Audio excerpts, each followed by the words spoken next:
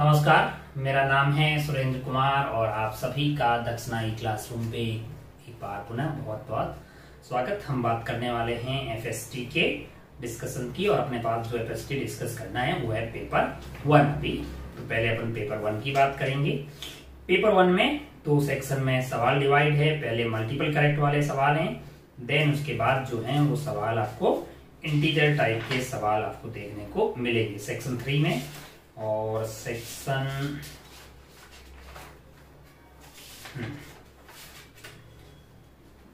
Part one में जो section one है, थर्टी मार्क्स के क्वेश्चन है, टेन क्वेश्चन है, और ये मल्टीपल करेक्ट वाले टेन क्वेश्चन है, और इसके बाद अगर अपन चलेंगे सवाल नंबर इलेवन से तो यहाँ पे अगर आप ध्यान से देखेंगे, दस सवाल आपको इंटीरियर टाइप के दिखाई देंगे। तो आइए स्टार्ट करते हैं मल्टीपल करेक्ट वाले सवाल से। सवाल नंबर एक और ये सवाल अगर आप ध्यान से देखेंगे, थोड़ा ठीक ठाक किस्म का भी है, लेकिन आप समझ जाएँगे तो बहुत ही सस्ता सवाल है। इस तरह का एक स्फेयर रखा हुआ है होलो स्फेयर है, और यहाँ पे सरफेस है ऐसी, यहाँ पे सरफेस है ऐसी, और आपको क्या बोला गया है कि ये एंगल जो है, कौन सा एंगल ये वाला एंगल जो है, वो 90 डिग्री दिया हुआ है सेंटर को आप कनेक्ट कर दीजिएगा। तो ये वाली दूरी आपके लिए आर है, ये वाली दूरी आर है। और ये शायद बी से उधर की तरफ़ प्रस्थान कर रहा है। अच्छा और घूमते हुए जा रहा है। अगर आप इसका ये वाला व्यू में देखिएगा तो आपको ऐसे बी से इधर जाता हुआ और ओमेगा से घूमता हुआ दिखाई देगा। है ना? तो वो सीटीआर करता हुआ जा रहा है। मतलब combined translational and rotational motion अगर आप ध्यान से देखेंगे तो आप ये पॉइंट पाएँगे कि भाई साहब, ये जो है आपको सवाल को बोलेंगे तो प्योरली रोल्स कर रहा है। इसका मतलब जो कॉन्टेक्ट वाले पॉइंट ये और ये पॉइंट है। इनकी नेट रफ्तार पर्टिकुलर इंस्टेंट पे क्या होगी? ज़ीरो होगी। तो क्या मैं ऐसा बोल सकता हूँ इन वाले पॉइंट से क्या पास रही, हो रही होगी? इंस्टेंटेनियस एक्सिस ऑफ़ रोटेशन क्या पास हो रही होगी? इंस्टेंटेनियस एक्सिस ऑफ़ रोटेशन उसके अबाउट क्या मान सकता हूँ मैं बॉडी प्योरली घूम रही है। प्योरली घूम रही है। अगर मैं ध्यान से देखे तो मुझे सेंटर की रफ्तार दी हुई है, ये परपेंडिकुलर दूरी क्या हो जाएगी? ये वाला एंगल 45 है तो ये आर बाई रूट टू हो जाएगा। तो मेरे लिए सेंटर की रफ्तार अगर मैं यहाँ से देखूँ तो इस एक्सिस के अबाउट वो ओमेगा से घूम रहा है, ये रफ्तार वी दी गई है, और ये दूरी आ जाएगी R by root two R by root two omega into R by root two must be equal to V यहाँ से मेरे पास ओमेगा की वैल्यू आ जाएगी root two V divided by R root two V divided by R आपको option number B में दिखाई देगा तो आप इंस्टेंटेनियस एक्सिस ऑफ़ रोटेशन की कॉन्सेप्ट से बड़ी आसानी से निकाल लेते अब आपको टाइम पास के लिए कुछ कुछ पूछा होगा, जैसे ये वाले पॉइंट की रफ्तार क्या होगी? तो ये वाले पॉइंट की दूरी क्या हो जाएगी? R plus R by root two तो वो वाले पॉइंट की रफ्तार आपके लिए हो जाएगी ओमेगा टू बीच का जो डिस्टेंस है, वो क्या है? R plus R plus R by root two है। तो क्या हो जाएगा? ये ध्यान से देखिए ओमेगा की वैल्यू आपके लिए क्या है? Root two B divided by R है। Root two B divided by R omega हो गया है और यहाँ से अगर आप आर बार ले लीजिए तो ये आपका root two plus one divided by root two आ रहा है तो रूट टू से रूट टू भी गायब हो गया है। तो ये वैल्यू आपकी आ रही है root two plus one into V root two plus one into V तो वेलोसिटी ऑफ़ हाईएस्ट पॉइंट आपकी आ जाएगी, रूट टू प्लस वन आ जाएगी। बहुत बढ़िया भाई साहब, बहुत ही जानदार। अगर आप ध्यान से देखें तो एक और ऑप्शन बोल रहा है कि इसके दो पॉइंट ऐसे होंगे जिनकी नेट रफ्तार ज़ीरो होगी और वहाँ से क्या पास हो रही होगी? इंस्टेंटेनियस एक्सिस ऑफ़ रोटेशन बाकी आपको कोई भी पॉइंट पूछा जाए तो उसकी रफ्तार आप पता नहीं कर सकते हैं, क्योंकि ये एक्सिस के अबाउट बॉडी का हर बिंदु प्योर रोटेशनल मोशन कर रहा होगा और ओमेगा आपके पास ये होगा तो उस वाले पॉइंट की ये वाली एक्सिस से परपेंडिकुलर डिस्टेंस निकाल लीजिए और आगे बढ़ जाइए। इस तरह से ये जो सवाल नंबर वन था हमारा यहाँ पे खत्म होता है। आइए आगे बढ़ते हैं सवाल नंबर टू पे। सवाल नंबर टू पे। सवाल नंबर टू बहुत ही सस्ता है। मतलब हम यहीं भी बता सकते हैं, बोर्ड साफ़ करने की ज़रूरत नहीं है। पैरल प्लेट है, कैपेसिटर की और उसको कनेक्ट किससे किया गया है? The parallel plate of capacitor are separated by a solid dielectric है। इसमें डायलेक्ट्रिक डाला हुआ है, बीच में बहुत बढ़िया भाई साहब। This capacitor and resistor are connected in series यानी कि एक रजिस्टर है यहाँ पे और ये किससे कनेक्टेड है? Are connected in series with terminals of a battery okay V volt की बैटरी से कनेक्टेड हैं. Now the plates of capacitor pulled slightly apart अगर इसकी प्लेट्स को आप इधर और इधर बढ़ाइएगा तो सी की वैल्यू क्या होगी? मैंने कहा के epsilon naught A by D इनमें से कौन सी वैल्यू बढ़ जाएगी? मैंने कहा बीच का सेपरेशन जो है ये वाला डी बढ़ जाएगा तो कैपेसिटेंस जो है आपका घट जाएगा। कैपेसिटेंस क्या होगा? घट जाएगा। अगर आप ध्यान से देखिए, अगर आप ध्यान से देखेंगे तो क्या पाएँगे? स्टडी स्टेट में इसका तो कोई रोल नहीं होगा। इसको प्लेन मान सकते हैं, है ना? तो अगर आप ध्यान से देखेंगे तो आप ये पाएँगे कि capacitor of the capacitance has increase एक ऑप्शन है जो कि गलत हो गया है। अब बोल रहा है कि एनर्जी स्टोर्ड इन कैपेसिटर के साथ क्या होगा? मैंने कहा उसके अक्रॉस पोटेंशियल ड्रॉप क्या है? वी है, वो तो कांस्टेंट ही है। एनर्जी आपकी क्या होती है? मैंने कहा हाफ़ सी वी स्क्वायर अब अगर आप वी सी को कम करिएगा तो यू क्या हो जाएगा? यू भी कम हो जाएगा। यानी अगर आप कैपेसिटेंस को कम करेंगे तो उसके अंदर की स्टोर्ड एनर्जी जो है हाफ़ सी वी स्क्वायर ये जो यू है वो भी आपका कम हो जाएगा। बहुत बढ़िया भाई साहब। Potential difference across the plate is increase मैंने कहा वो तो कांस्टेंट है पहला ऑप्शन आपका गलत हो गया है यहाँ पे। आ, दूसरा ऑप्शन बोल रहा है energy stored in capacitor decrease मैंने कहा सत्य वचन है आपके। कैपेसिटर ऑफ़ कैपेसिटेंस है कैपेसिटी बढ़ गया। तीसरा ऑप्शन है मैंने नहीं सी घट गया है, गलत है। और डी ऑप्शन आपसे बोल रहा है battery gains energy during the process battery gains energy during the process इस भाई की एनर्जी कम हुई है तो वो एनर्जी कहाँ गई होगी? बैटरी के अंदर गई होगी। अरे, है कि नहीं है बहुत बढ़िया भाई साहब। तो ये बात सही है मतलब इसने एनर्जी सप्लाई की है तो वो एनर्जी बैटरी में गई होगी। और मतलब इसमें कुछ लॉस हो गया होगा तो ये ऑप्शन बोल रहा है कि battery gains energy during the process में कहा बिल्कुल सत्य बात वचन है। इसकी एनर्जी कम हो रही होगी। अच्छा तो ये ऑप्शन आपका सही हो गया। तो ऑप्शन करेक्ट कौन से हो गए? बी एंड डी आपका करेक्ट आंसर हो जाएगा। तो ये था सवाल नंबर टू आइए इसको थोड़ा सा साफ़ कर देते हैं और फिर बढ़ते हैं सवाल नंबर थ्री की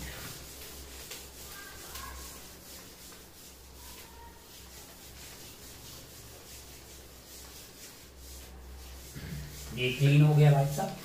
देखिए जरा सवाल नंबर थ्री आपसे क्या बोल रहा है? सवाल नंबर थ्री जो है ना, उसको मैं रीड्रॉ कर रहा हूँ। मतलब फ़ोटो दिया हुआ है और बहुत ही सस्ता सवाल है। अगर आप ध्यान से देखेंगे तो सवाल नंबर थ्री को मैं रीड्रॉ कर रहा हूँ। बैटरी हमको नहीं दी हुई है, और लेकिन यहाँ पे फोर ओम का रजिस्टर लगा हुआ है।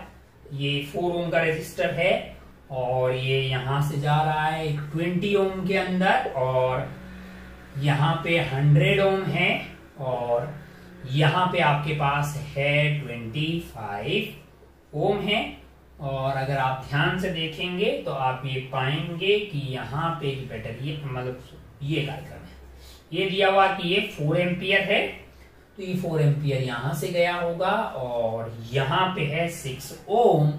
ओके, और और जानकारियाँ अपने को नहीं मतलब ये पॉइंट जो है वो पॉइंट ए हो गया है, ये पॉइंट आपका सी सी और ये पॉइंट को मैं डी बोल सकता हूँ। तो अगर आप आर इक्वलेंट की बात करेंगे, किस, किसकी? आर इक्वलेंट की तो आर इक्वलेंट कितना आएगा? अगर आप ध्यान से देखिएगा तो यहाँ पे छह और चार हो गए दस, और इनका इक्वलेंट निकालेंगे तो टोटल आर इक्वलेंट निकाला जा सकता है। वो ट्वेंटी आ रहा है। कैसे निकालिएगा इनका? मैंने कहा one upon R is equal to one by twenty plus one by hundred plus one by twenty five है। तो ये आपका हंड्रेड आ गया है तो five plus four plus one हो गया है। यानी कि टेन यानी कि यहाँ इन, इन, इन सब का इक्विलेंट क्या आ गया है? टेन आ गया यहाँ से हंड्रेड बाई टेन है। और टेन में क्या ऐड कर दीजिएगा? टेन तो ट्वेंटी आ गया है। मतलब आर इक्विलेंट की वैल्यू तो आपके लिए ट्वेंटी होगी। अच्छा ट्वेंटी इंटू फोर करिएगा। फोर एम्पियर का करंट बह रहा है ना? तो इसका मतलब ये एटी वोल्ट की और ये अगर एटी वोल्ट की है छह और चार हो गए दस। इनके अक्रॉस ड्रॉप की कितना हो गया है? दस इंटू चार यानी फोर्टी यानी यहाँ और यहाँ का सम देखा जाए तो फोर्टी यहाँ ड्रॉप हुआ होगा। ए और सी के बीच का पोटेंशियल ड्रॉप कितना आ जाएगा? ये फोर्टी आ जाएगा। ये आपका 40 है और ये आपका 40 वोल्ट है। समझ गए ना आप बात को? क्या कहना चाह रहे हैं? भाई टोटल 80 है और 6 और 4 जो है 10 हो गया 10 इंटू फोर फोर्टी हो गया 80 माइनस फोर्टी फोर्टी यहाँ ड्रॉप हो गया बचा बचा 40 यहाँ हुआ होगा। अब इसमें करंट निकालना है forty by twenty two ampere आ जाएगा, इसमें करंट क्या आ जाएगा? टू एम्पियर आ जाएगा। और अगर आप ध्यान से देखें तो बाकी वाले करंट भी आप बड़ी आसानी से निकाल सकते हैं, है ना? यहाँ forty forty divided by hundred करिएगा। तो ये आपका यहाँ का आ जाएगा। कितना आ जाएगा? ये आपका 40 डिवाइडेड बाई 100 है यानी कि 0.4 आ जाएगा। और इस वाले केस में क्या आ जाएगा आपके लिए? 40 डिवाइडेड बाई 25 है। तो नीचे आप 10 से डिवाइड कर दीजिए इसको 400 कर दीजिए तो कितना आ जाएगा? ये आ, एक में चार जाता है तो 16 16 बट, 16 बटा दस यानी 1.6 आ जाएगा। तो 1.6 और 0.2 हो गया और 2 और 2 फोर हो गया। तो सब जगह करंट आ गया। भाई सब कुछ पता किया जा सकता है। Current in wire A B is two ampere A B कहा है भाई साहब? ए बी बी बी कहा है? अच्छा। हंड्रेड ओम लगा हुआ है। यहाँ मतलब ये ए हो गया। और दूसरा वाला जो है आ, अगर आप ध्यान से देखेंगे तो एसी के बीच में कि, कितना जा रहा है? टू एम्पियर जा रहा है। और इधर से अगर आप ध्यान से देखेंगे एसी के बीच में टू एम्पियर जा रहा है ना? और यहाँ से अगर टू एम्पियर अगर पुराने वाले फ़ोटो को आप देखिएगा, इधर से फोर आ रहा है है ना? और इधर क्या जा रहा है? टू एम्पियर जा रहा है। इधर की तरफ़ कितना गया होगा? टू एम्पियर गया होगा। तो ओरिजिनल फ़ोटो में देखिएगा तो आपको current in wire A B जो है वो टू एम्पियर आता हुआ दिखाई देगा। अरे ये ये है और बी ये वाला बिंदु, है ना? तो ये हो गया है। ये में वो बैटरी कितना आ गया? एटी आ गया है। Current in C D is two point four C D is in C D वाला वायर आप ध्यान से देखिएगा। अब आप ध्यान से देखिए तो यहाँ पे आप क्या पाइएगा कि भाई साहब, इससे आपका टू आ रहा है और बी और सी बी और सी के बीच वाला निकाल लीजिए और इसमें ऐड कर दीजिए तो ये ऑप्शन आ जाएगा। और ए बी के बीच में कितना आ रहा है? वो आपका टू आ गया है। No current flow in C D no current flow in C D no current flow in C D पागल है क्या? सी हम्म सीडी के अंदर का करंट फ्लो हो रहा है भाई सब। सीडी के अंदर करंट फ्लो होने वाला है। ये हमने इससे बनाया, इसे पुराना वाला कैसा रहेगा जरा ध्यान से देखिए। यहाँ आपके पास है फोर ओम और ये आपका जो है ट्वेंटी था। और यहाँ से ये आपका कितना हो गया है? हंड्रेड आ गया है। और इसको कर दीजिए, यहाँ पे आपके पास क्या है? ट्वेंटी फाइव आ गया है। और ये बिंदु देख लीजिए भाई साहब, और यहाँ पे ये हो गया है। ये आपका ओरिजिनल वाला जो फ़ोटो था, ये फोर एम्पियर हो गया है, ये यहाँ पे फोर एम्पियर हो गया है। तो अब आप ध्यान से देखिएगा, ध्यान से देखिएगा। तो होगा क्या होगा क्या कि ये ट्वेंटी हंड्रेड सी ये वाला पॉइंट है, और ए ये वाला पॉइंट है बी कौन सा वाला पॉइंट है ये वाला पॉइंट है इधर से फोर एम्पियर आ रहा था. ए बी में हमने टू डिसाइड कर लिया. एसी में कितना गया? है एसी में आपके लिए टू गया है तो यहाँ से टू चला गया है। है ना? तो अब ये टू आएगा टू एक तो इधर जाएगा। है ना? और बी एंड सी के बीच में बी एंड सी के बीच में। और दूसरा जो है, वो आपका ए एंड सी वाला आ गया है यहाँ पे। ये वाला बिंदु कौन सा होगा? ये वाला बिंदु अगर आप ध्यान से देखिएगा तो ये बिंदु आपका सीडी हो जाएगा। ये वाला बिंदु क्या हो जाएगा? सीडी हो जाएगा। तो अगर आप ध्यान से देखेंगे तो यहाँ से 0.4 आ रहा है। देखिएगा तो ये 2 हो गया है और ये 0.4 हो गया। तो 2 इधर से आ रहा होगा। और A A and B A and B के पीछे पोटेंशियल सेम है। तो बी यहाँ पे मान लीजिए मतलब एक ही जगह। तो ये टू और ये ज़ीरो पॉइंट फोर तो यहाँ ऐड होगा कितना आ गया? टू पॉइंट फोर और इधर से कितना आया? वन पॉइंट सिक्स तो ये ऐड होगा कि कितना हो गया? फोर एम्पियर हो गया। तो यहाँ से निकल गया फोर तो सीडी के अंदर अपना कितना आंसर आ गया पॉइंट फोर आ गया यहाँ पे सीडी की में, क्या हो जाएगा? 2.4 हो जाएगा। तो अगर आप ध्यान से देखें तो टू इधर से आया होगा 2.4 इधर की तरफ़ कितना गया होगा? पॉइंट फोर गया होगा। तो अगर आप ध्यान से देखिएगा तो पॉइंट फोर इधर चला गया तो वन पॉइंट सिक्स इधर गया होगा, वही वन पॉइंट सिक्स एड होके अब हो गया। इस पूरा कार्यक्रम आपके पास हो गया क्या? अब आपसे पूछा है कि EMF in battery is eighty current in A B current in A B is two current in CD CD में कितना है भाई? टू पॉइंट फोर और करंट कितना? No current flow in CD गलत बात है। गलत बात है भाई। तो कहा कौन से आंसर सही हो गया आपकी? A B C D answer आपका गलत हो गया। चलिए, आगे बढ़ते हैं सवाल नंबर फोर की तरफ़। सवाल नंबर फोर बड़ा ही सस्ता है तो यही भी बता देते हैं। जरा ध्यान से देखिए। सवाल नंबर फोर में अगर आप देखिएगा तो क्या पाएँगे कि भाई साहब, एक बैलेंस बीट स्टोन ब्रिज है ना? यहाँ पे क्या लगा हुआ है? मैंने कहा, यहाँ आपके पास आर एक्स लगा हुआ है और यहाँ क्या लगा हुआ है? वार लिखा हुआ। बीच में क्या है? गैल्नोमीटर है। क्या शो कर रहा नल पॉइंट डिफ्लेक्शन जो कि यहाँ पे लगी हुई है।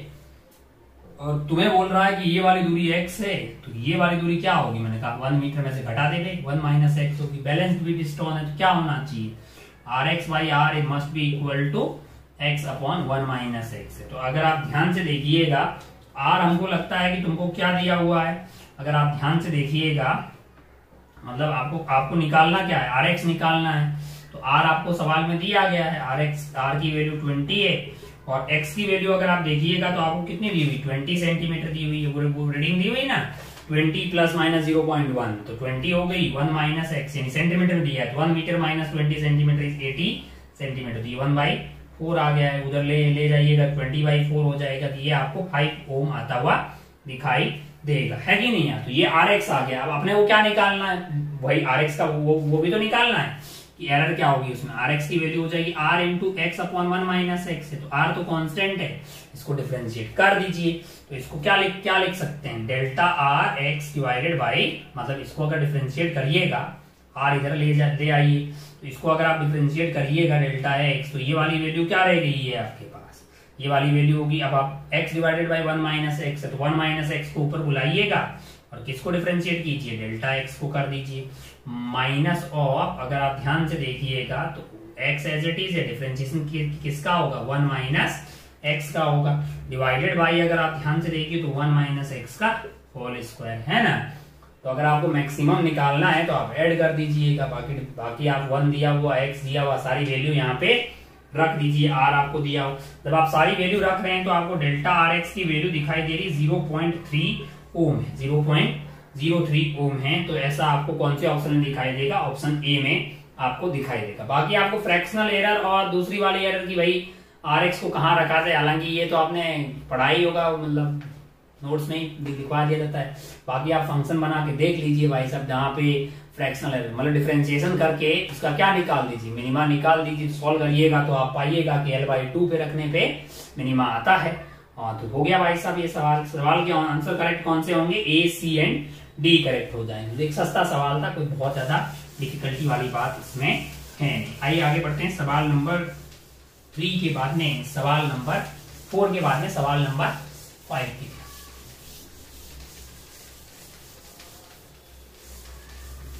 देखिए क्या है? सवाल नंबर फाइव सवाल नंबर फाइव सवाल नंबर फाइव को आप देखिएगा। One mole of monoatomic gas है। कौन सी गैस है? मोनोऑटोमिक गैस है मतलब मोनोऑटोमिक मतलब एफ़ की वैल्यू आपको क्या दिया हुआ है? थ्री दिया हुआ है। मोल आपको कितना दिया हुआ है? वन दिया हुआ है।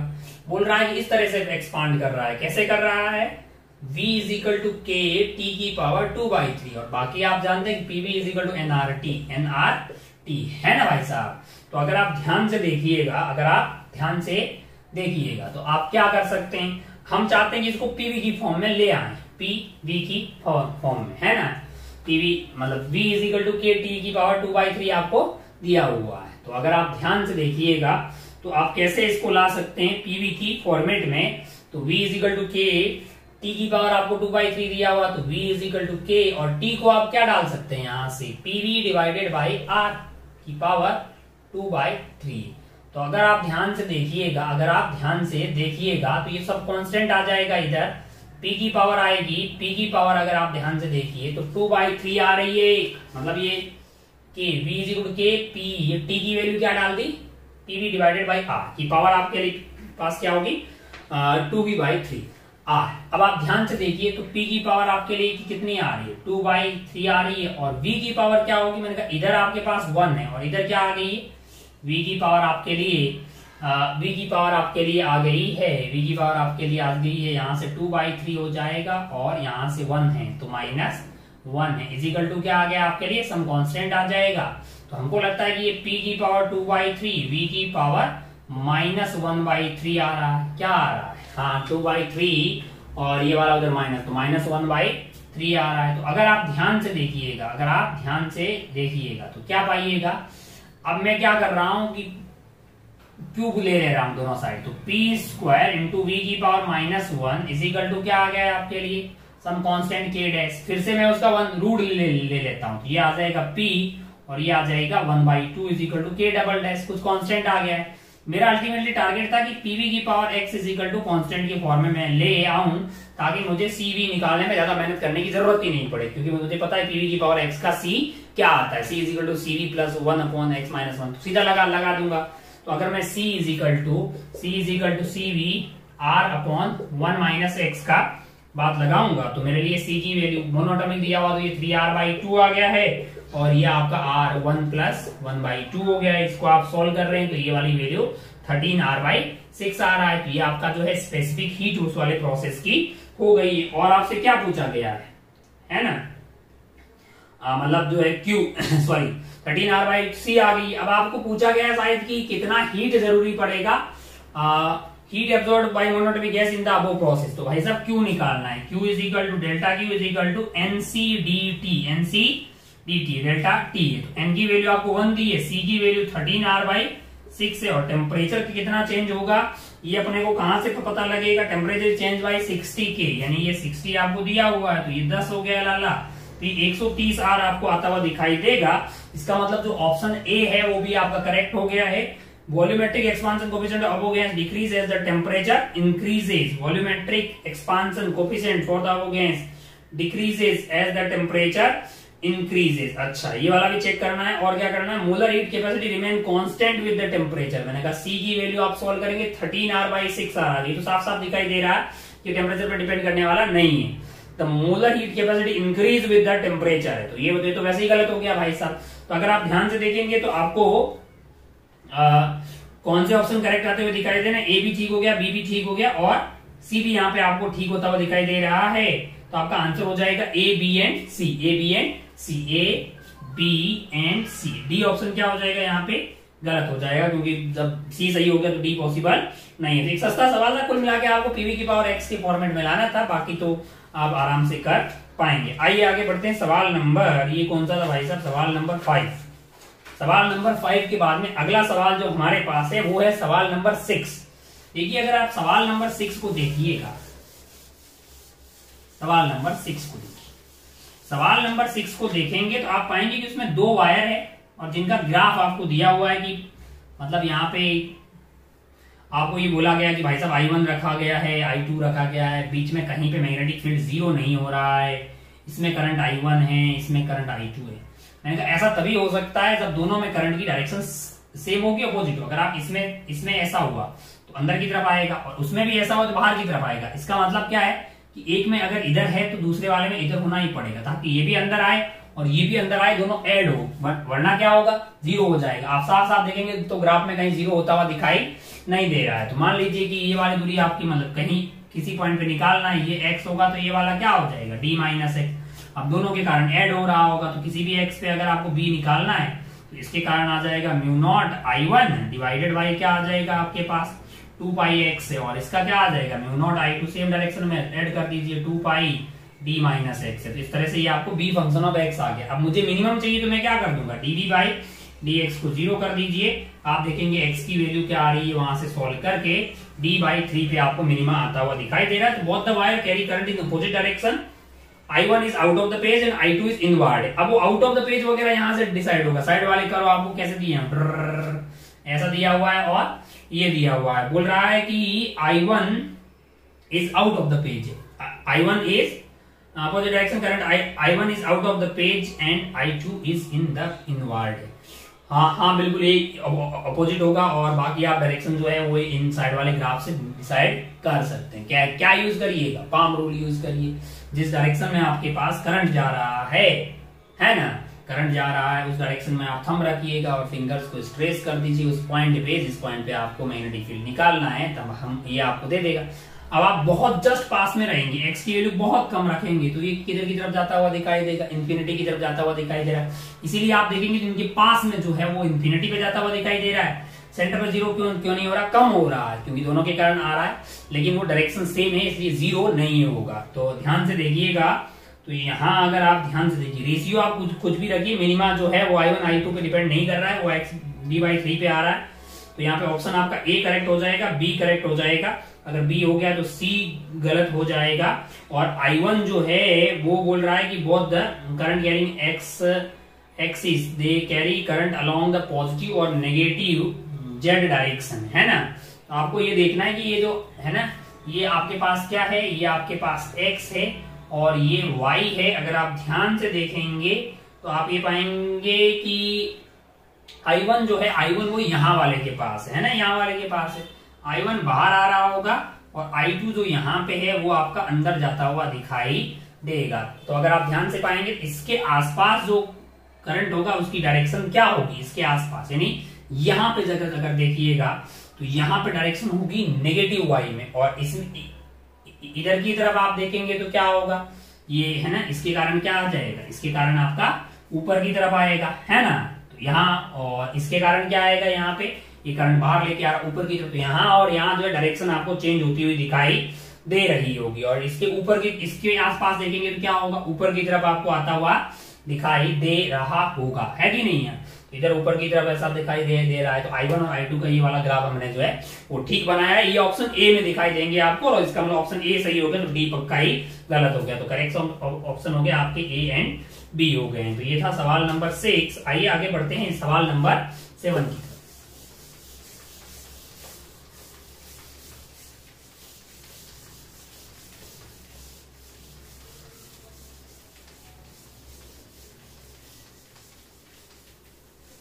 सवाल नंबर सेवन। क्या है सवाल नंबर सेवन? जरा ध्यान से देखिए। सवाल नंबर सेवन में एक कैपेसिटर लगा हुआ है, उसका कैपेसिटेंस सी है और वो कनेक्टेड है। किससे कनेक्टेड है वो? एक इंडक्टर से कनेक्टेड है। उसका इंडक्टेंस क्या है आपके लिए? एल है।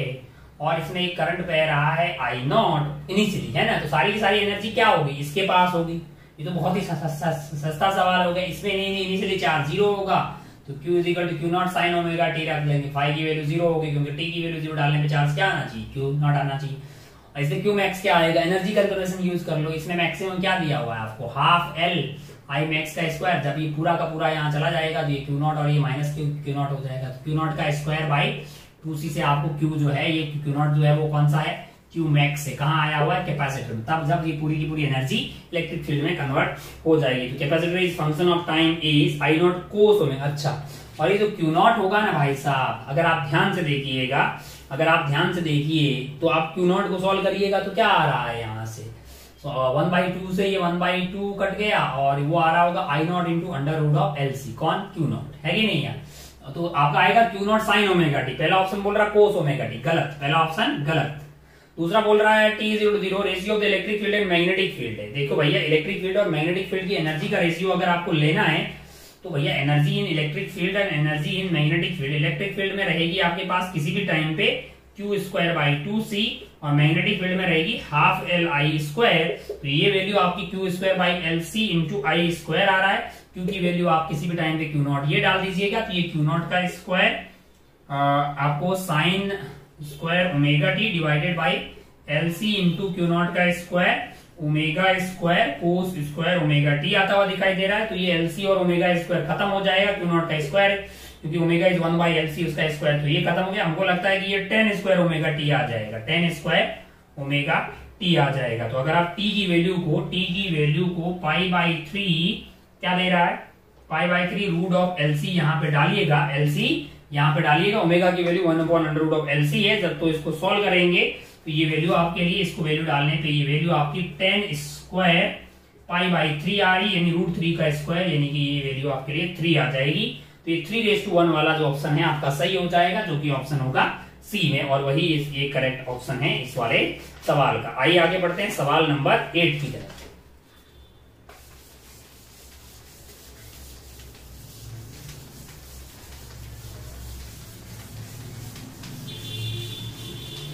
सवाल नंबर एट जरा ध्यान से देखिए। सवाल नंबर एट सवाल नंबर एट को अगर आप ध्यान से देखेंगे तो आप ये पाएँगे कि हमारे पास एक पेंडुलम है।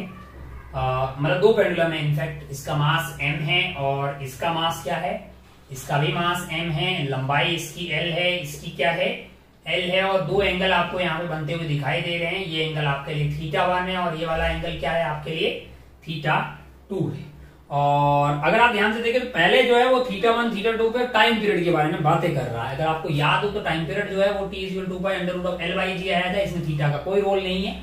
और बाय डिफ़ॉल्ट ये मान के चल रहे हैं, अपन थीटा वन थीटा टू बहुत ही स्मॉल है। तो पहला ऑप्शन गलत हो जाएगा आपका, है ना? सॉरी सेकेंड ऑप्शन जो है आपका बोल रहा है कि थीटा वन बड़ा हो कि थीटा टू बड़ा हो उससे कोई फ़र्क पड़ने वाला नहीं। तो फ़र्स्ट गलत सेकेंड सही हो गया सी आपका सही हो गया।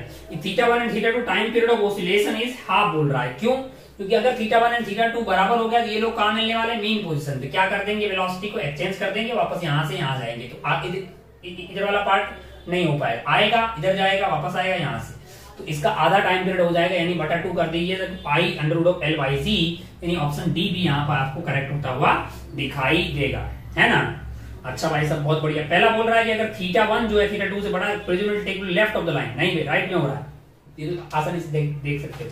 चलिए आगे बढ़ते सवाल नंबर एट के बाद सवाल नंबर नाइन की सवाल नंबर नाइन की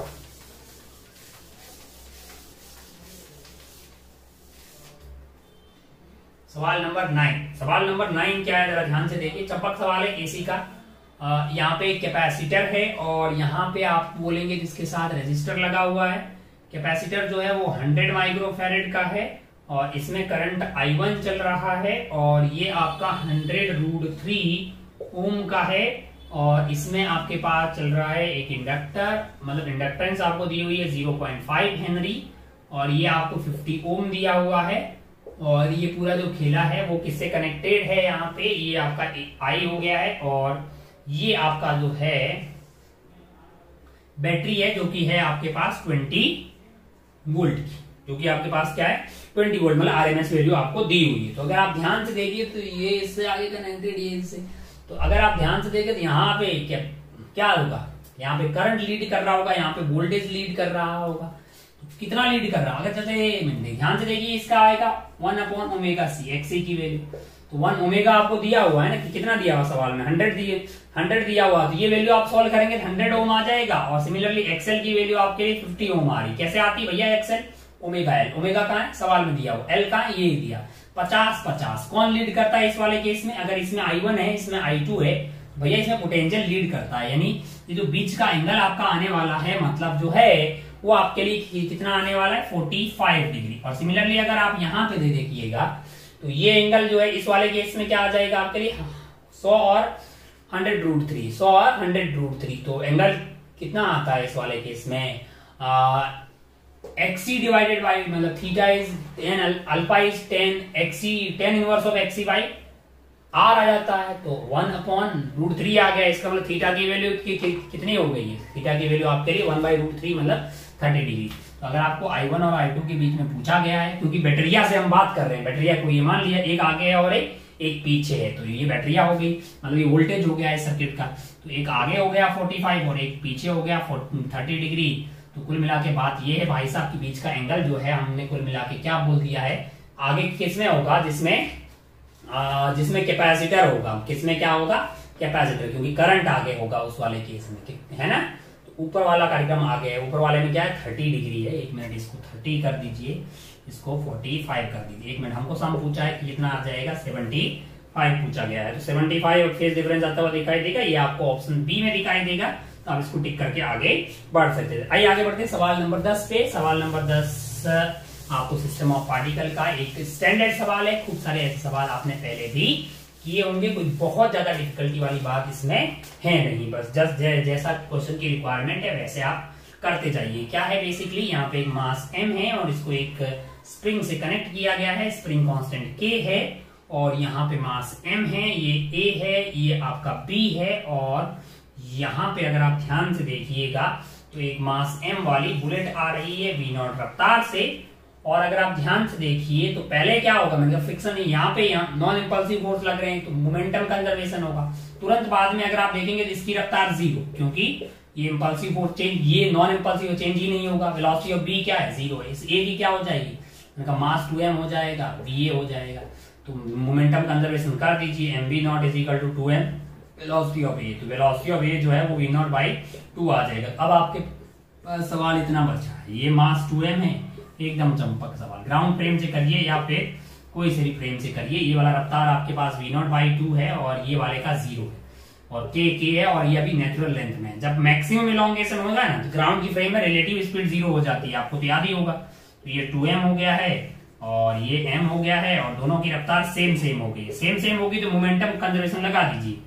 Two M into V naught by two must be equal to three M into V तो अगर आप ध्यान से देखिएगा तो रफ्तार कितनी हो जाएगी? मैंने कहा V naught divided by three हो जाएगी। जो तो जो काइनेटिक एनर्जी कम हुई होगी, वो कहाँ गई होगी? पोटेंशियल एनर्जी की फॉर्म में गई होगी। पहले काइनेटिक एनर्जी क्या हुआ करती थी? वन बाई टू मास कितना है? टू एम है। और रफ्तार वी नॉट है बाई टू स्क्वायर करिएगा तो वी नॉट बाई फोर आ जाएगा। बाद वाली की कितनी है? मैंने कहा वन बाई टू मास दोनों का जोड़िएगा तो थ्री एम है और दोनों की रफ्तार क्या है? वी नॉट बाई थ्री है तो स्क्वायर करिएगा तो वी नॉट बाई नाइन आ जाएगा। ये जो कम हुआ है वो कहाँ गया है? वो गया हाफ़ के एक्स स्क्वायर में। ये एक्स है मैक्सिमम कंप्रेशन तो हाफ़ हाफ़ हाफ़ सारे कट गए हैं। और ये वैल्यू आपके लिए क्या आ गई है? ये टू आ गई है। तो ये एम वी नॉट का स्क्वायर बाई टू और ये वैल्यू अगर आप ध्यान से देखेंगे तो M V naught square by three आ जाएगा ये तीन से कट जाएगा is equal to K X max का स्क्वायर के एक्स मैक्स का स्क्वायर है तो ये थ्री माइनस टू यानी कि वन बाई सिक्स आ गया है तो एम बी नॉट का square by six is equal to K X max का स्क्वायर है ना? तो अगर आप ध्यान से देखिएगा के आपका यहाँ पे आ गया है और इसका लीजिए आप रूट इसका क्या ले, क्या लीजिए? रूट ली, ली, तो ये वी नॉट आ गया है और ये under root of M by six K आ जाएगा एम डिवाइडेड बाई सिक्स के आ जाएगा। तो अगर आप ध्यान से देखिएगा तो ये ऑप्शन आपको जो है ऑप्शन सी में दिखाई देगा। तो speed of A just after V naught by two आ रहा है स्पीड ऑफ़ बी जो है जस्ट आफ्टर ज़ीरो आ रहा है मैक्सिमम कंप्रेशन ये आ रहा है और kinetic energy lost during the process मतलब कितनी होगी? फाइनल में भाई के पास काइनेटिक एनर्जी जो है मतलब इनिशियली कितनी थी? हाफ़ एम वी नॉट का स्क्वायर और फाइनली इसके पास आ गई वन बाई टू मास हो गया है टू एम और वी नॉट बाई टू का square V naught by four है तो इसमें से इसको घटाइएगा तो क्या आ जाएगा? One by four, one by four M V naught का स्क्वायर। तो ये आपको ऑप्शन कौन से में दिखाई दे रहा है? ये फोर डी में दिखाई दे रहा है। चारों ऑप्शन यहाँ पे करेक्ट हो जाए। ए बी सी डी चारों ऑप्शन जो है यहाँ पे करेक्ट है। जिस तरह से मल्टीपल चॉइस के सवाल यहाँ पे होते हैं, खत्म, आइए आगे बढ़ते हैं। इंटीजर टाइप के सवालों कैसे सवालों पे? इंटीजर टाइप के दस सवालों पे।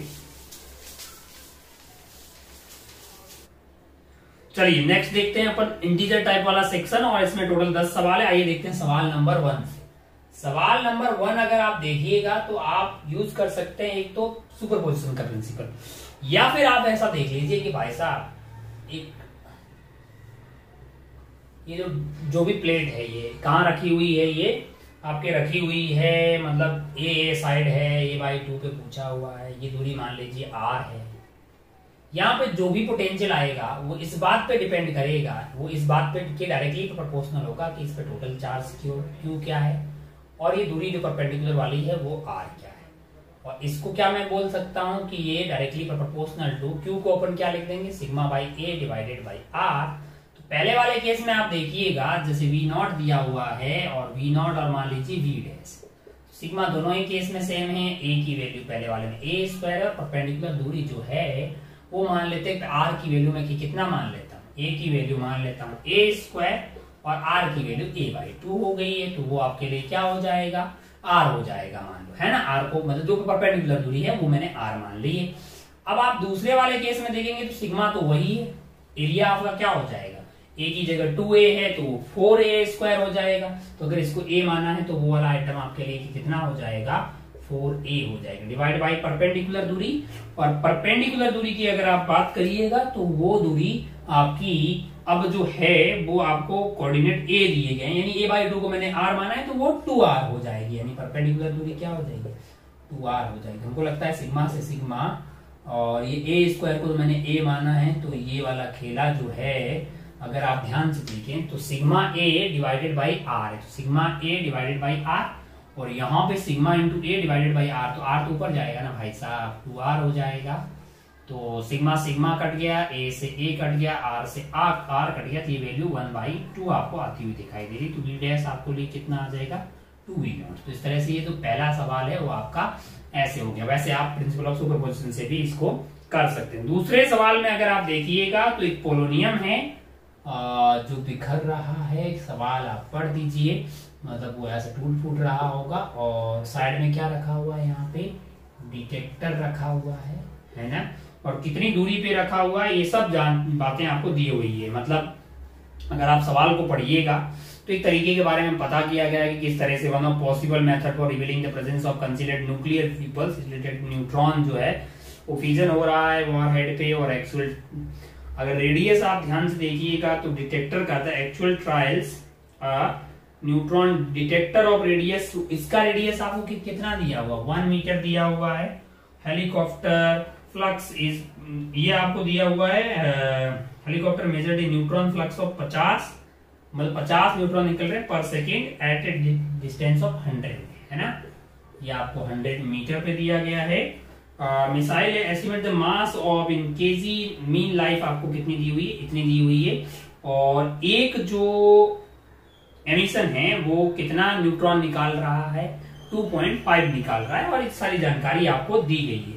तो अगर आप रेट की बात करें डीएन बाई डी की तो number of number of polonium जो टूट रहे होंगे, यानी कि नंबर ऑफ़ फीजन जो हो रहे होंगे number of fission per unit time यानी कि अगर मैं टाइम से डिवाइड कर दूँ that is equal to lambda into N naught है। किसी भी टाइम पे मैं इनिशियली इसके कितने रहे होंगे? एन नॉट रहे होंगे। ये तो तब है जब पोलोनियम टूट रहा होगा, लेकिन न्यूट्रॉन कितने निकल रहे हैं उसमें से? 2.5 neutron on average one emission हो रहा है। तो अगर आप नंबर ऑफ़ न्यूट्रॉन की बात करिएगा तो नंबर ऑफ़ न्यूट्रॉन यहाँ से कितने आ जाएँगे? मैंने कहा वो डिवाइडेड बाय टाइम यानी कि उसकी रेट इसके 2.5 टाइम होगी 2.5 lambda N naught N naught इस भाई के इनिशियल वाले नंबर ऑफ़ नंबर हो गए। अब आप ध्यान से देखिएगा डिटेक्टर जो है वो यहाँ रखा हुआ है वो कितना डिटेक्ट करेगा? तो आपको क्या निकालना पड़ेगा? इंटेंसिटी की तरफ़ से आप फोर पाई डी स्क्वायर से ये जो डी है बीच की वाली दूरी से मतलब डिवाइड कर दीजिए फोर पाई डी स्क्वायर से और इसको क्या मान लीजिए? यहाँ वाले सेक्शन का एरिया जो है वो आपका क्या हो जाएगा? डिवाइड बाई टोटल एरिया यहाँ पे कर दीजिए फोर पाई डी स्क्वायर होगा इंटू पाई आर स्क्वायर कर, दीजिए कि इसका इसका एरिया इंटू तो आ, आपको क्या मिल जाएगा? आपको वो वाले मतलब जितने भी इसने एमिट किए हैं कितने इसने डिटेक्ट किए हैं ये मिल जाएगा। तो ये निकाल दीजिए। Number of neutrons neutrons detected by detector divided by क्या है? टाइम इतने एमिट हो रहे हैं डिवाइडेड बाई पूरे एरिया फोर पाई डी इसको फैला दीजिएगा। तो आपके पास ये वैल्यू आ रही होगी 2.5 point five lambda N naught और कहा फैला दिया है इसको? Four pi D square D की वैल्यू क्या है? हंड्रेड है ना? ये वाली दूरी में हंड्रेड स्क्वायर इतना जो है पर यूनिट एरिया पे जा रहे होंगे तो इस एरिया से मल्टीप्लाई कर दीजिए। जो इफ़ेक्टिव एरिया होगा, वो सर्कुलर एरिया ही हो गया ना साइड में। तो पाई आर स्क्वायर और आर इसका कितना दिया हुआ? वन दिया हुआ है तो इसको सोल्व कर दीजिएगा। ये वैल्यू को जब आप सोल्व कर रहे हैं तो अगर आप ध्यान से देखिएगा तो आपको कुछ इंफॉर्मेशन दी हुई है। है ना? मीन लाइफ आपको दिया हुआ है। तो वहाँ से आपको लेमडा मिल जाएगा। है ना? तो ये वैल्यू जो है, आप यहाँ पे डाल दीजिएगा। तो आपको अननोन जो है, वो वैल्यू एन नॉट है। मतलब जो नंबर एन नॉट है, वो सॉल्व करने पे ये वैल्यू आपको 50 दी हुई। ये सवाल में 50 दी हुई। अब लेमडा आपको दिया हुआ अननोन कौन हुआ? एन नॉट हुआ। सॉल्व आप कर रहे हैं तो वैल्यू की कितनी मिलती हुई दिखाई दे रही है? 48 eight into forty eight into forty eight into two की पावर मतलब टेन की पावर ट्वेंटी थ्री तो ये एवोगाड्रो नंबर से आप डिवाइड करिएगा, जो आपको सवाल में सिक्स इंटू ट्वेंटी थ्री दिए हुए हैं तो ये आपके लिए आठ सौ अड़तालीस, यानी कि आठ मोल आपको आते हुए दिखाई देंगे। मोल की वैल्यू कितनी आ जाएगी? एट आपको आती हुई दिखाई देगी। तो आपसे क्या पूछा गया है? मास पूछा गया है किसका? ये भाई का। भाई के मूल आठ है और मोलर मास आपको दिया गया है 0.24 तो 0.24 को आप एट से मल्टीप्लाई कर दीजिए। ये वैल्यू आपके अराउंड टू के आपको आता हुआ दिखाई दे रहा तो एक तरीका है, जिसे आप पता कर सकते हैं। तो ठीक तरीका है, ठीक सवाल बन गया है मतलब बढ़िया। तो आंसर आपका क्या आ गया है यहाँ पे? आपके पास जो है वो टू के आ गया है। तो टू आपका आंसर हो जाएगा। आइए आगे बढ़ते हैं, सवाल नंबर थ्री की तरफ़।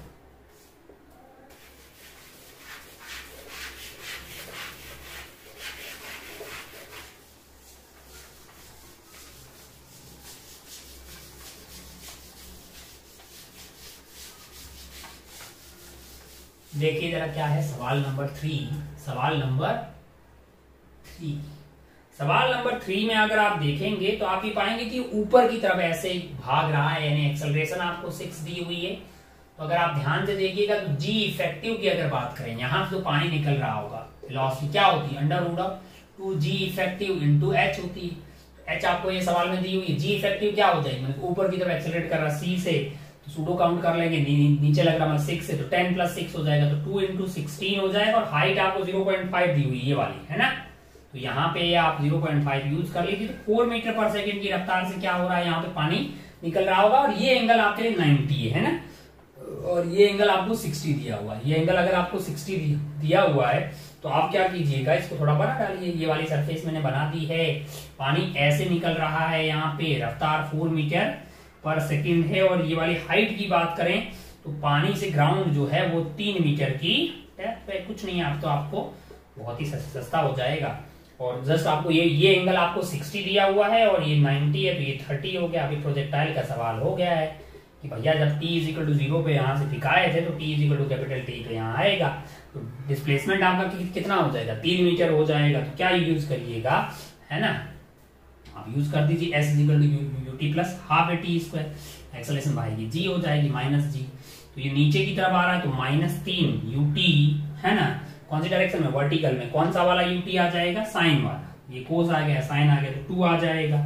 तो two T minus of ten by two T square इस क्वाड्रेटिक को सॉल्व करिएगा ना तो आप पाएँगे टू प्लस माइनस ये क्या आ रहा है? Four plus four into five into three. मतलब क्वाड्रेटिक सॉल्व करना आता है ना तरह आचार्य लगा के। नेगेटिव हो नहीं सकता टाइम तो पॉजिटिव वाला केस लेना। ये two plus eight divided by ten आएगा सॉल्व करिएगा तो वन सेकेंड आ जाएगा। है ना? काम की बात ये थी कि आपको जी इफ़ेक्टिव जो है, वो क्या लेना है? प्रेशर बढ़ जाएगा ना भाई सूडो नीचे लग रहा होगा तो आंसर आपको टाइम ही निकालना था ना कि कब गिर जाएगा। तो आंसर आपका वन सेकेंड हो जाएगा वन आंसर आइए आगे बढ़ते सवाल नंबर फोर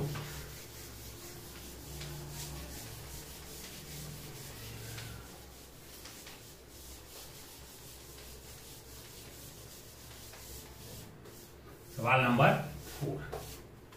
सवाल नंबर फोर। सवाल नंबर फोर को अगर आप देखिएगा, सवाल नंबर फोर को अगर आप देखिएगा तो आपको कुछ जानकारियाँ दी गई है कि भाई कैपेसिटर जो है, वो एनर्जी को एमिट कर रहा है फ्लैश में, और पावर दी गई है, कितने टाइम तक फ्लैश चल रहा है तो एनर्जी कितना एमिट होगा? E is equal to power into time है। तो पावर आपको सवाल में 270 सेवेंटी इंटू टेन की पावर थ्री दी हुई है। टाइम जो है 165 है तो ये आपके पास 400 जूल आ जाएगा। अब आपको बोल रहा है कि 95 परसेंट जो है, वो एनर्जी जो इफ़ेक्टिव है मतलब टोटल एनर्जी कन्वर्ट हो रही तो ओरिजिनल की कितनी रही होगी? मतलब ये उसका 95 परसेंट रहा होगा। तो ओरिजिनल जो एनर्जी रही होगी, उसका 95 परसेंट यानी कि 0.95 जो है, वो आपके पास की कितना आ गया है? वो आपके पास आ गया है मतलब जो है, वो आपको कैपेसिटर के अंदर जो आपको ई e दिया हुआ।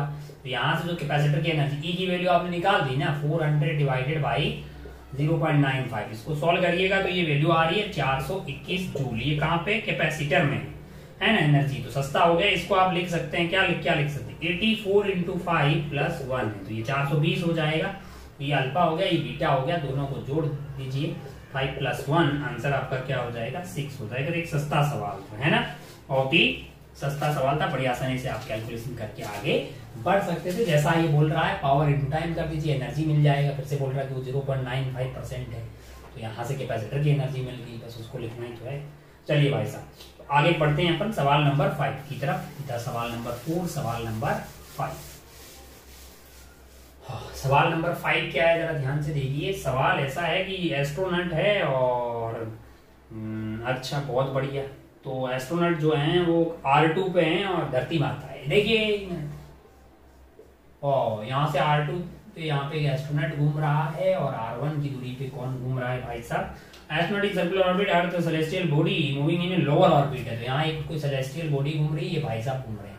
तो कोई भी जानते हैं ऑर्बिटल वेलोसिटी होती है आपकी जीएम डिवाइडेड बाई आर होती है, वो आर आपकी यहाँ से दूरी होगी। तो मान लीजिए इसका रेडियस आर टू है तो इसका रेडियस आपका आर वन आ जाएगा। तो अगर आप ध्यान से देखिएगा वेलोसिटी ऑफ़ जो एस्ट्रोनट है, वो आपके लिए आ जाएगी GM divided by R two और वैसे ही अगर वेलोसिटी ऑफ़ सेलेस्टियल बॉडी अगर मैं बात करूँ तो ये वेलोसिटी ऑफ़ बॉडी जो है, वो आपके लिए under root of GM divided by R one आ जाएगी। कुछ इन्फॉर्मेशन अगर देखें तो यहाँ पे आपको velocity of astronaut minus velocity of body यानी रिलेटिव वेलोसिटी आपको दी गई है पाँच। तो यहाँ से अगर आप ध्यान से देखेंगे, और आपको शायद वेलोसिटी ऑफ़ एस्ट्रोनट जो है, पाँच हज़ार दी हुई है। तो यहाँ से वेलोसिटी ऑफ़ बॉडी जो होगी, वो आपके लिए क्या आ जाएगी? वो आ जाएगी, है ना? Velocity of astronaut minus velocity of body तो वेलोसिटी ऑफ़ एस्ट्रोनट आपको ये दी गई है। तो आप क्या निकाल सकते हैं भाई साहब? आप वेलोसिटी ऑफ़ बॉडी यहाँ पे निकाल सकते हैं। बिल्कुल नहीं निकाला जा जा सकता है। तो आर वन वाले भाई साहब की वेलोसिटी कितनी होगी? सवाल में पढ़िए। He observe that the body moves at a speed five metre relative to himself अच्छा body of velocity of body minus जो है, आपके लिए velocity of astronaut velocity of astronaut astronaut की आपको 5000 दी हुई है। तो वेलोसिटी ऑफ़ बॉडी यहाँ से 5000 पाँच आ जाएगी। है कि नहीं है? सस्ता हो गया ना भाई? ये दिया हुआ सवाल में। भाई साहब ऑब्ज़र्व कर रहे हैं। Velocity of body minus velocity of A with respect to velocity of A minus velocity of B अब आप ध्यान से देखिएगा अगर आप ध्यान से देखिए तो ये वैल्यू आपको दी हुई है और जीएम जीएम की वैल्यू पता है तो आर वन और आर टू निकाल देंगे। मतलब ये वैल्यू पता है। ये वैल्यू पता है। जी पता है एम पता तो आर टू और आर वन नहीं निकाल सकते हैं। सवाल में आपसे पूछा है R two minus R one R two minus R two minus R one तो आर टू को कहाँ से निकाल सकते हैं? यहाँ से। आर टू निकालना है तो GM divided by velocity of से वो कर दीजिए। क्या करिएगा? GM divided by velocity of आपको पाँच हज़ार दी हुई है। है ना कर पाँच हज़ार का स्क्वायर कर दीजिए। दूसरे वाले में क्या होगा? मैंने कहा GM divided by velocity of body चाहिए। मतलब आर वन चाहिए तो GM divided velocity of body का स्क्वायर कर दीजिए, यानी कि पाँच हज़ार पाँच का स्क्वायर कर दीजिए। तो ये वैल्यू अगर आप यहाँ पे जी डाल देते हैं और एम डाल देते हैं तो ये वैल्यू जो आपको सॉल्व करके आती हुई दिखाई दे रही है, वो around around thirty two kilometre आती हुई दिखाई दे रही कितनी दिखाई दे रही? थर्टी टू किलोमीटर है। भाई बोल रहा है अल्फ़ा बाई फोर आपको बता करना है। यानी thirty two divided by four की बात करेंगे एट आपका आंसर हो जाएगा। तो आप इस सवाल में एट फिल करके आगे बढ़ सकते थे। ये था सवाल नंबर फाइव आइए आगे बढ़ते हैं सवाल नंबर सिक्स की।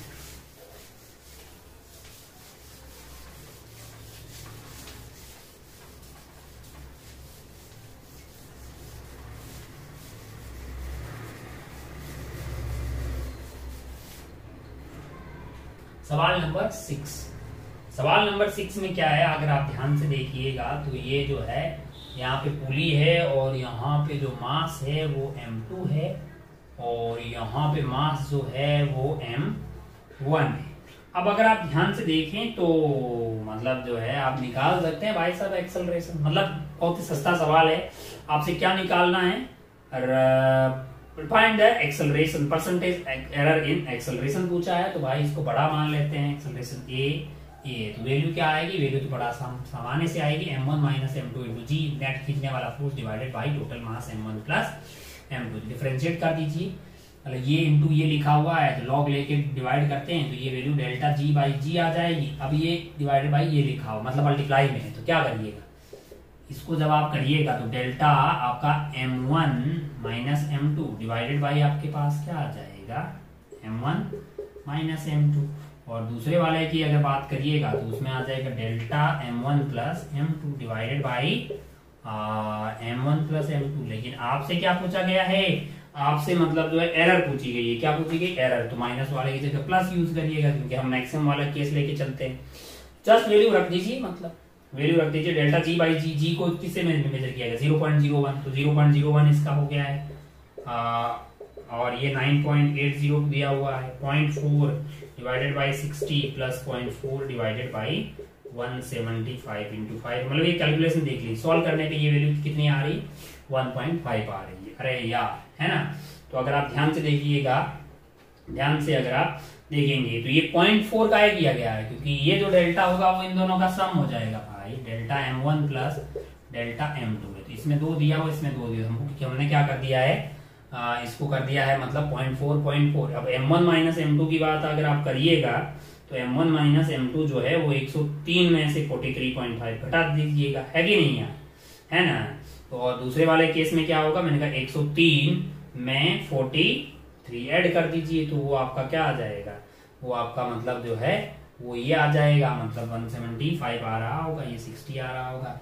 ये डेल्टा ए बाई ए आएगा। इनटू आप जो है 100 कर दीजिएगा। तो मिल जाएगी वैल्यू है कि नहीं है? बहुत बढ़िया भाई साहब, बहुत ही शानदार। 170 कितना आ रहा है? हम्म हम्म जोड़ दीजिए भाई।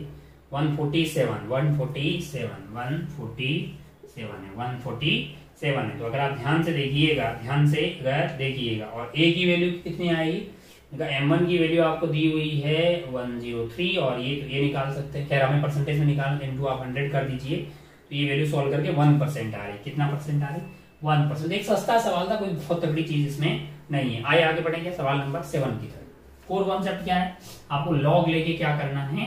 डिफ्रेंशिएट कर देना है। तो ये मल्टीप्लाई बाई ये मल्टीप्लाई इंटू ये M one plus M two minus one है। लेकिन हम तो प्लस ही लगाएँगे, क्योंकि हम एरर्स की बात कर रहे हैं। चलिए, आगे बढ़ते हैं सवाल नंबर सिक्स के बाद सवाल नंबर सेवन की।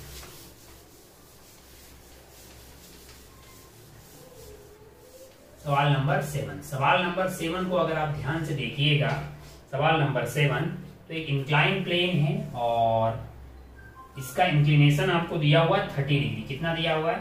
थर्टी डिग्री दिया हुआ है, इसके ऊपर एक ब्लॉक रख रखा हुआ है, इसका मास है वन के जी और म्यू चार्ज आपको ज़ीरो पॉइंट ज़ीरो वन दिया हुआ है म्यू की वैल्यू ज़ीरो पॉइंट टू है और इधर की तरफ़ इलेक्ट्रिक फ़ील्ड जो है, वो आपके लिए हंड्रेड वोल्ट पर मीटर है। हंड्रेड वोल्ट पर मीटर, और ये वाली हाइट आपको वन मीटर दी हुई है तो ये थर्टी दिया हुआ है कि नहीं है तो अगर ये एल है तो ये आपको एल साइन थीटा दिया हुआ तो by two is equal to one L की वैल्यू क्या आ गई? टू आ गई। तो बेसिकली एक सस्ता सवाल है मतलब इस पे क्यू इंटू इधर की तरफ़ लग रहा होगा। तो ये एंगल 30 डिग्री हो गया, जिसका एक कंपोनेंट इधर आएगा, एक कंपोनेंट इधर आएगा, नीचे एक एम जी कॉस थीटा इधर आएगा एम जी साइन थीटा इधर आएगा, है कि नहीं है तो नॉर्मल जो है वो किनको बैलेंस कर रहा होगा? नॉर्मल आपका एक एम जी साइन थीटा को कर रहा होगा और एक क्यू के इधर वाले कंपोनेंट को कर रहा होगा नॉर्मल और अगर आप फ्रिक्शन की बात करिएगा, अगर आप ध्यान से देखें तो फ्रिक्शन इस वाले केस में किधर लग रहा होगा? म्यू इंटू एन ऊपर लग रहा होगा। तो ऊपर वाले दो फोर्स है, इधर वाला एम जी साइन थीटा है M g sine theta minus friction और ये वाला कंपोनेंट दोनों को मतलब ये वाला फ्रिक्शन और इन दोनों को जोड़ के एम जी साइन थीटा में से घटा के एन की वैल्यू क्या डालने का? M g cos theta plus Q into E का कॉस थीटा वाला ऊपर ऊपर वाला कंपोनेंट आ गया Q into E sine theta तो वहाँ से एक्सलेशन मिल जाएगी। अब u ज़ीरो है एक्सलेशन आपको पता है लेंथ दो मीटर है, क्या लगेगा? S equal to u t plus half a t square u zero है half a t square a मिल गया टी स्क्वायर सॉल्व करेंगे t मिल जाएगा। सॉल्व करते हैं तो टी फोर बाई थ्री आ रहा है।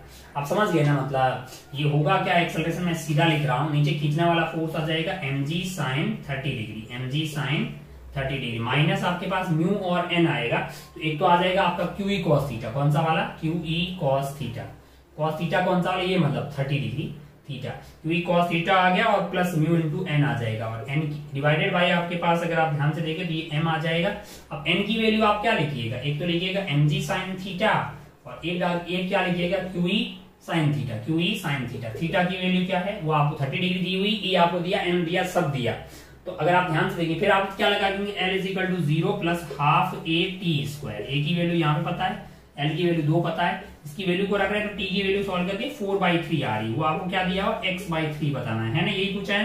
तो एक्स की वैल्यू यहाँ से कितना आपको आता हुआ दिखाई दे रहा होगा? एक्स की वैल्यू आपको फोर आता हुआ यहाँ पे प्राप्त दिखाई देगा। जस्ट एक कैलकुलेशन वाला सवाल था, सवाल नंबर सेवन हमको लगता है ये आप बड़ी आसानी से कर लेते। आइए आगे बढ़ते। मतलब बड़ी आसानी मतलब कैलकुलेशन ठीक से करके कॉन्सेप्ट वाइज कोई बहुत तगड़ी चीज़ इसमें नहीं सेवन के बाद आगे बढ़ते हैं सवाल नंबर एट की तरफ़। क्या है सवाल नंबर एट? जरा ध्यान से देखिए। सवाल नंबर एट। सवाल नंबर एट। क्या है एट? एट में अगर आप देखेंगे तो ये आपको याद होगा कि हमने एक डिस्प्लेसमेंट मेथड के बारे में बात करते हैं। जब आप फोकल लेंथ निकालते हैं कॉन्वेक्स लेंस की, आप जानते हैं कि ये जो है, वो आपकी दूरी होती है कैपिटल डी, और ये वाला दो पोजिशन होती है जिसके करस्पॉन्डिंग आपको रियल इमेज यहाँ पे बनती हुई दिखाई देती है। मान लीजिए कि ये वाला x है तो ये वाला आपके लिए क्या हो जाएगा? d माइनस एक्स हो जाएगा। d माइनस एक्स हो जाएगा। अब आप sorry capital D minus X है ना? अब आप ध्यान से देखिए तो आपको मैग्निफिकेशन टू दिया हुआ है। तो मैग्निफिकेशन की अगर बात करें तो वो होता है वी बाई यू क्या होता है? वी बाई यू इस वाले केस में वी कम होगी, लेकिन यू ज़्यादा होगा। तो ये केस नहीं हो सकता। टू वाला केस नहीं हो सकता, क्योंकि मैग्निफिकेशन के लिए यू को स्मॉल होना पड़ेगा और वी को बड़ा होना पड़ेगा। यानी फ़र्स्ट वाला केस पॉसिबल है। और अगर आप ध्यान देखें तो अगर मैं इसको एक्स मान लू, और मैग्निफिकेशन दो मान लू, है ना? मतलब मैग्निफिकेशन दो दिया हुआ और v की वैल्यू में मुझे नहीं पता डिवाइड बाय u की वैल्यू x मान ली तो v की वैल्यू क्या आई? 2x इसका मतलब ये x है ये वाला अकेला क्या होगा? 2x होगा। टोटल कितना होगा? मैंने कहा 3x होगा। और 3x की वैल्यू इसने सवाल में दिया तीन मीटर है। कितना? तीन मीटर। एक्स की वैल्यू क्या है वन मीटर। अब आप ध्यान से देखिएगा पहले वाले केस में मैग्निफिकेशन अगर m1 है, दूसरे वाले में m2 इनको मल्टीप्लाई करने में वन आता है। ये तो आप जानते ही तो इसका मतलब पहले वाले में आपका क्या आया होगा? टू बाई वन अरे ये टू एक्स मतलब दो मीटर, ये वन है। तो ये टू बाई वन आया होगा सेकंड वाले में वन बाई टू आया होगा। वन बाई टू तभी आएगा जब v की वैल्यू वन रही होगी और u की वैल्यू टू रही होगी। तभी तो आंसर वन आएगा कि नहीं आएगा इसका मतलब ये वन मीटर है, ये वन मीटर है। कौन सा वाला? ये पहले वाले की यहाँ से दूरी वन मीटर है। ये वन मीटर तो बचा बचा कुचा ये वाला दूरी क्या हो जाएगा? वन ही मीटर रहेगा भाई साहब। One plus one plus one तो फिर क्या होना चाहिए? थ्री होना चाहिए। तो एक सस्ता किस्म का सवाल था, कौन सा वाला? सवाल नंबर एट उसी तरह से अगर आप सवाल नंबर नाइन को देखिएगा तो इसमें भी ज़्यादा आपको कुछ कैलकुलेशन करने का कुछ है ही नहीं मतलब। यहाँ पे लाइट आगे गिर रही है, और अगर आप ध्यान से देखिएगा तो आप ये पाइएगा कि यहाँ पे एक बैटरिया है है ना? वो जो कितने वोल्ट की है? पाँच की। मैंने कहा, जो इलेक्ट्रॉन यहाँ पे ज़ीरो एनर्जी से आएगा, वो यहाँ पे कितने एनर्जी पालेगा फाइव ईवी पालेगा है कि नहीं यार? और जो यहाँ पे के मैक्स से आ रहा होगा, उसकी यहाँ पे एनर्जी होगी मतलब के मैक्स के मैक्स प्लस फाइव और शायद यहाँ पे जो रेंज दी गई है, वो पाँच से आठ दी गई है। तो इसका मतलब ये जो है, वो मैक्सिमम आठ हो सकता है। इसका मतलब आसान भाषा में क्या हुआ कि जो के मैक्स है, वो आपकी एट माइनस फाइव यानी कि थ्री इलेक्ट्रॉन वोल्ट है। अब आप जानते हैं कि जो आया है एनर्जी लेके, उसकी energy minus five equal to K E max आता है, वो तो आपका तीन इलेक्ट्रॉन वोल्ट आ रहा है। तो जो जो आ रहा है, उसकी एनर्जी सवाल बोल रहा है कितनी है भैया?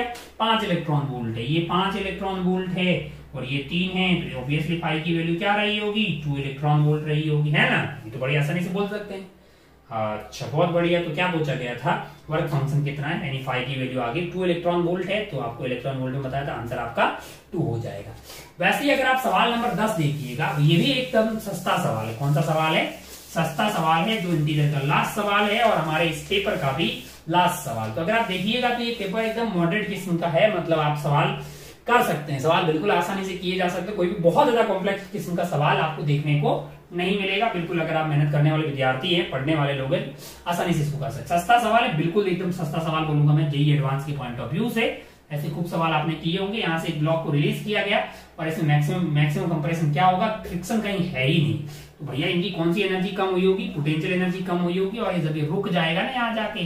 तो इसकी काइनेटिक एनर्जी यहाँ ज़ीरो हो जाएगी। तो सारी की सारी कहाँ गई है? स्प्रिंग में चली गई है। इसका मतलब जो एनर्जी कम हुई है potential energy that must be equal to half K X square energy conservation लगा दिया। कोई भी नॉन कंजर्वेटिव फोर्स नहीं लग रहा है यहाँ पे। ये फिक्स है और ये फ्रिक्शन लेस है।